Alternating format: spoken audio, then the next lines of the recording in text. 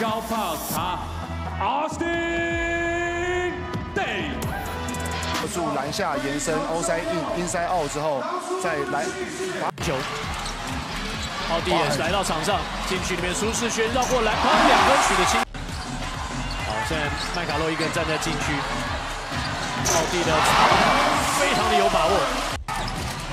如果先发能发挥，那有可能哦就会决定比赛的胜负。奥迪今天都没有外线呐，马上来一个，国王队领先一分。哇，抓麦卡洛的进攻犯规。吉尔贝克跟麦卡洛都是犯规收场，都两。对，还有一分领先。苏伟背后运球，阿吉在干扰他，苏伟送到奥迪的手上，埋伏在空的，就要失误啊！好，再回个奥迪，假动作甩开之后外线投射。看怕奥迪的假晃哦，第二个第二波的三分，现在手感非常的好，协防过来，再交曼尼高出手去，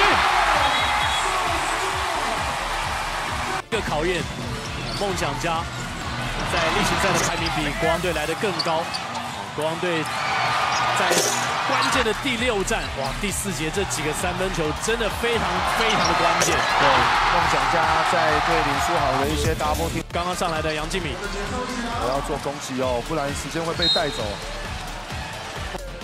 好，阿吉，阿吉说我没有想要犯规，哇，时候啊，这个犯规是是有人说我我碰到了我要犯规，我碰到了要犯规了，但是其实这个球。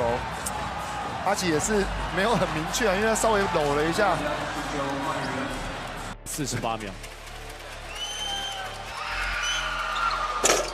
第二球小心翼翼的罚进，到前场。哦，而且没有任何三分的建树，但是第。